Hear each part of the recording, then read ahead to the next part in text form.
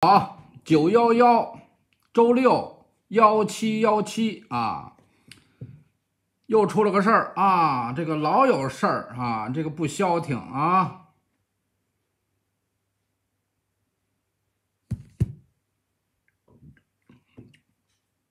建业集团向河南省政府发出求救信了啊，要求 偿还五十亿欠款等，要求谁呢？让政府替他还钱是吗？这个是来自前天的消息啊，《中国房地产报》。如果建业河南建业被汛情和疫情拖累，过不去眼前这个坎儿。有可能成为全国企业暴雷和倒下的下一个，其消极的反响将是全国性的、极为严重的。去年吧，恒大不是向广东政府这个发出求救信吗？是吧？以自己有可能倒闭来捆绑、要挟地方政府，替他的这种穷兵黩武、盲目扩张。是吧？这个高杠杆儿是吧？高负债来买单吗？对吧？现在河南建业又开始了，建业火的时候，我看这房地产，广州恒大、河南建业是吧？都搞这什么呀？是吧？那会儿还有什么上海申花啊、大连万达、大连实德、北京国安是吧？这个山东鲁能，有很多这种大公司都是搞房地产的。也都赞助啊，投资这个足球俱乐部，是吧？一方面也是扩大知名度，一方面也是圈钱啊，有的还境外洗钱。近日，一份建业集团向河南省政府发出的求救信，关于企业出现重大风险和危机，并请求帮扶救援的报告广泛流传，近三千字的报告。颇多心酸与无奈啊！是啊，你现在心酸与无奈了。你欠了那么多钱，那你火的时候呢？你赚钱的时候呢？你没给人家省长分点吗？书记分点吗？分了，但是那个书记和省长调走了，退休了，高升了，现在的还没来得及打通关节呢，打好关系呢，还没来得及，是吧？买通呢，是吧？与此同时，建业集团欲请呼吁请求河南省委省政府采取以下四项非常措施，帮助建业渡过难关，是吧？这全世界向政府求助的有，向某一个政党求助的啊，什么省委省政府、市委市政府，像这种的，全世界可能只有中国，中国这体制。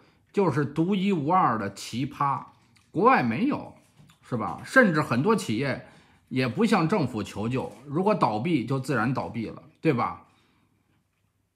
一是尽快偿还多年来由于各种原因拖欠建业的各类款项逾五十亿元。哦，是政府欠开发商的五十亿，有可能啊。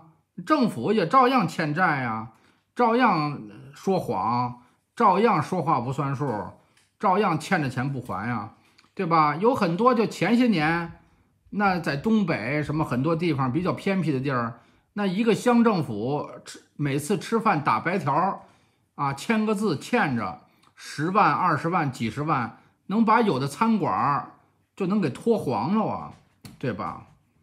二是分类减免和缓交建业旗下的公司的增值税、所得税。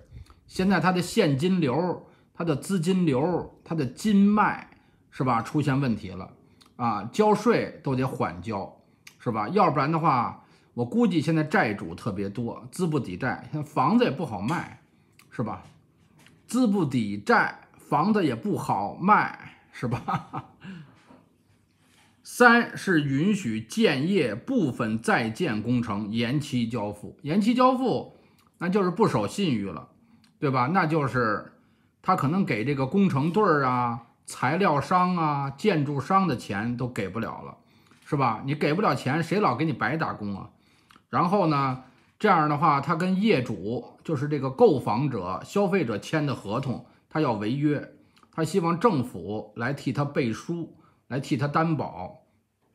第四，允许建业部分土地款延缓半年支付啊，延延缓支付半年到一年。土地款就土地出让金啊，这个全世界也没听说过，全世界的土地都是私有的，是吧？就我们家这儿。我们这周围有几十户的这个别墅吧，这种这种院子，我们家也是其中之一。这个现在人家还有一部分没卖，还有一大片地，至少能盖十几栋别墅的地儿没盖。前天吧，人那个地主来了，人家两口子啊，看着吧比普通的西班牙人个儿高，穿着体面，气质不错啊。然后我儿子上去跟他们攀谈攀谈。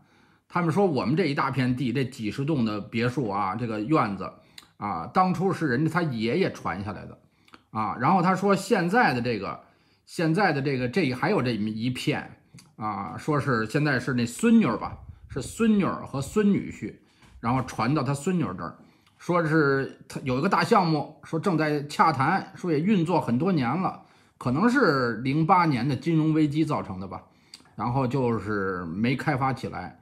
圈着呢这一片，然后那个前一段来了那个小型的那个挖掘机，在这儿啪啪啪就那个拍那个土，把那土给弄一弄，然后把那草弄一弄，可能有可能现在比前一段那荒草什么的都没了啊，可能是要开发啊，也可能在找人来洽谈当中啊，我们不清楚啊，如果真有这事儿，可能我们这儿他们这儿工期又慢。可能会有两三年，甚至三四年，我们这儿都得盖房子，是吧？但是这儿盖房子不像中国似的昼夜不停。前些年在北京发生过，都快高考了，然后那些建筑工地还不停工吗？对吧？有些大的什么中建啊，什么这个这个城建集团，那你西城区、东城区的建委去了都不买账，为什么呢？人家跟中央、跟大领导勾着，中国是。法律规则啊，各种的这个规章制度，随时可以被违反，随时可以有例外，因为权大于法，人治大于法治，这就是中国，没办法，是吧？你活在中国，有的人啊，包括我本人，有的时候我也做一些猫腻，有时候也加个三儿啊，托个人呀，台湾叫请托，是吧？这个有什么对价关系？利益的交换，我们也都这么做事儿，但实际上每个人都是受害者，是吧？又都是受害者，所以中国人是吧？可杀不可留啊！可怜之人必有可恨之处，这就是中国啊！什么雪崩之下没有一片雪花是无辜的，是吧？这中国就是一个劣币驱逐良币，就是一个逆淘汰、逆向淘汰的社会。包括领导人各级领导人的选拔，你看选拔上来的都是什么人？一群屎蛋啊！连说句话，连说句整话都说不好，是吧？错别字连篇，都是没文化大老粗，就是跟你耍胳膊根儿啊，就是跟你动粗，是吧？跟你玩横的，给你抓起来，信不信？给你关监狱，信不信？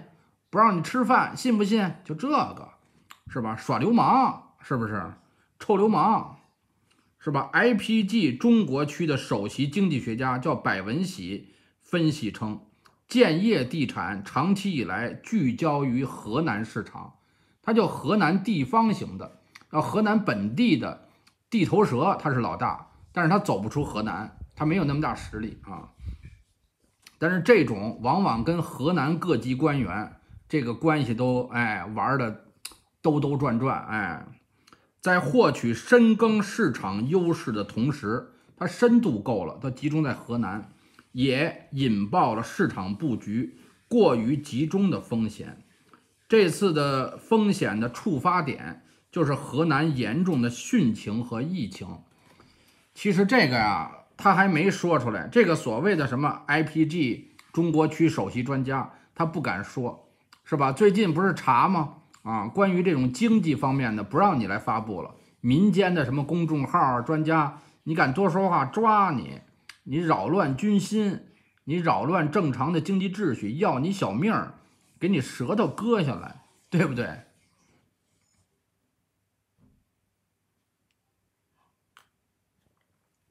所以你看哈，恒大啊就开始了。恒大那么大的块儿，其实块儿越大啊，它那个那个体型越大，体量越大，它铺的摊子越大，它欠的债越多。中国的这些企业都叫泥足巨人。什么叫泥足巨人啊？那脚丫子是泥做的，一遇到风浪、风吹雨打，可能整个身躯就垮塌了。哭嚓一家伙。是吧？就叫沙滩上的城堡，阳光下的雪人儿，随时就会崩塌，就会完蛋，就会资不抵债，就会进入破产程序，就让那些借给他们钱的人，或者说你买了他的房还没交房的人，让你血本无归，是吧？最近融创不是发生了多起的违约事件吗？对吧？然后恒大也开始了。连他的员工都闹起来了，是吧？你看那个房地产，是吧？曾经风风光光的那么牛的，现在问题就出在他们这儿了，是吧？中国的房地产历来是高负债、高杠杆，然后质量很差。但是中国的房地产商也做了很多本来是地方政府该做的事儿。这个我原来搞过业主维权，我知道。比如说这个小区里边的什么自来水管啊。污水管啊，燃气管啊，什么配电房啊，包括小区内的道路啊，其实有些是政府的责任，政府不做，但是政府呢跟开发商有默契，他保护他们，让他们欺负老百姓，欺负购房人，然后他们共同的从里边捞钱，好吧，朋友们啊，就说到这儿啊，这个继恒大之后，继融创之后啊。河南建业也出问题了，下一个是谁呢？是吧？会不会是万科啊？会不会是碧桂园？其实碧桂园的房子质量非常差，非常差啊！好吧，朋友们啊。